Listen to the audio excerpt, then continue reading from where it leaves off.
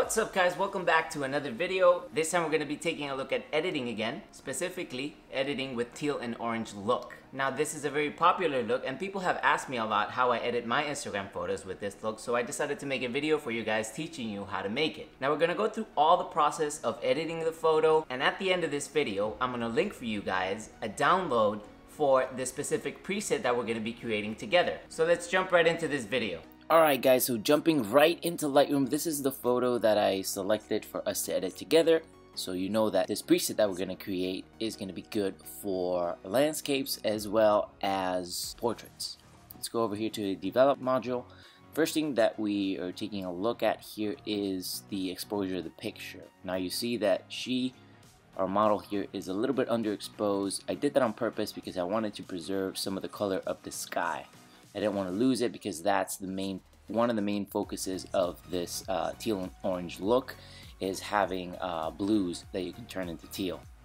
So that's why I kind of uh, left the, the, blue skies like this.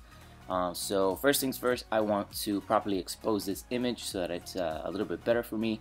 Um, so I'm just gonna up the exposure just a little bit.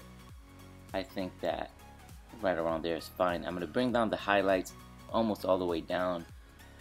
Maybe at around uh, yeah I'll bring them all the way down. It doesn't affect too much of the highlights on her skin and it is actually bringing down the blue skies like I wanted the shadows I'm gonna boost up until I get it to a comfortable level. I think that mm, around right there at 50 is where I want them to be.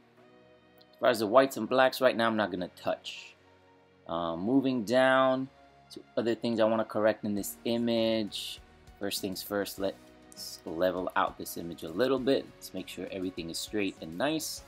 I think it's good. I think composition wise, she's in the middle of the photo where I want her to be. So that's good there. Keeping up with this sharpening, I think it's pretty good. If you see here, it doesn't need too much more sharpening, so I'm just going to leave it as is profile corrections, I'm going to leave them as is as well. So that's basically it for exposing the image. Now we're going to get into the interesting part of creating this uh, filter and creating this uh, teal and orange look. So first things that we want to do is go to the blues and actually make those blues teal because that is the color, the, one of the main colors of the image. So we're gonna bring that to about 35. I think it looks good. If you bring it all the way down, it looks too green, too bad. So I kind of want to keep it at around 35. I think it's good. I want to bring the luminance down so that it's a little bit more punchy and a little bit with a little bit more character in that in those blues. Saturation I'm gonna leave just as is. Um, another thing I want to do here is I want to jump into the yellows bring those yellows into the oranges completely so that there's no yellow, just orange and teal and some of the green from the, from the leaves here. Um, the hue of the orange, I want to bring it down a little bit more toward, towards the reds. I think that minus 10 should be good. I don't want to touch the reds because usually the reds go into the skin too much and if you see here, see how it's affecting her skin and making her look different. So I don't want to really touch those. I want to leave those reds at zero. So pretty much we're, you know, getting into the business of the teal and orange here. Um, another thing that I want to do is uh, this trick called split toning. I'm going to go here to the shadows. I'm going to add some yellows or oranges to the shadows. Now, initially, this is a little bit too much for my taste, so I'm going to bring it down until I feel comfortable with it so that it actually looks more to my liking. Now, um, I think that around there, 10% looks pretty good. What we've done here is that we've added, with this uh, little thing right here, we've added some oranges to the shadows, which means that all this darker parts of the image that used to be, uh, that used to have basically no color, now have an orange cast to them, which actually complements the teal that we're getting from the jeans and a little bit of the sky here. So, we're almost almost done um, I don't want to add any grain or noise to this image I just want to leave it as clean as possible but you can add it um, if you so desire to your edits as far as exposure, I think it looks pretty good.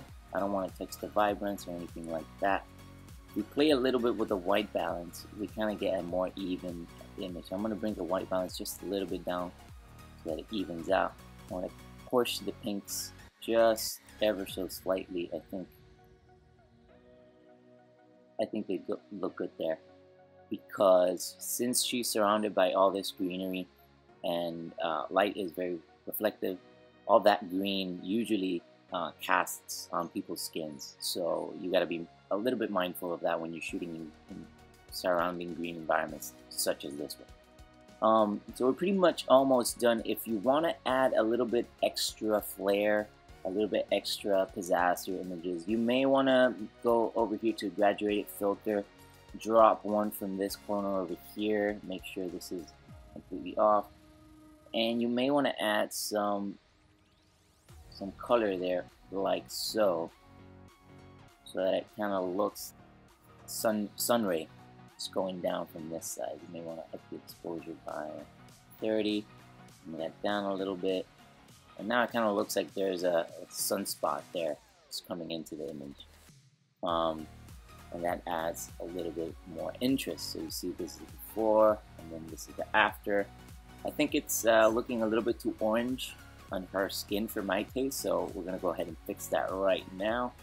And the way that we can fix that is that we can take the white balance just a little bit more down, just tone it down a little bit more, and actually add a little bit more detail into those shadows, like so.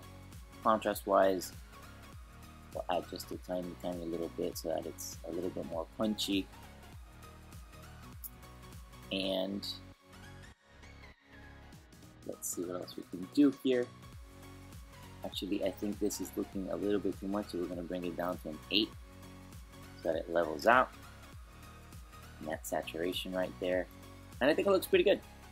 I think that we've accomplished uh, what we set out to do with this edit, which is a teal and orange look. Now this look is pretty good for a lot of things. You can apply this to landscapes or to your own photographs uh, of yourself or portrait that you're taking or you know whatever it is that you want to do if you want to keep this uh, clean coloring like you see in this image right here. I think the next step to do for us is export this and uh, save it down to our desktop and I think we'll be pretty much done.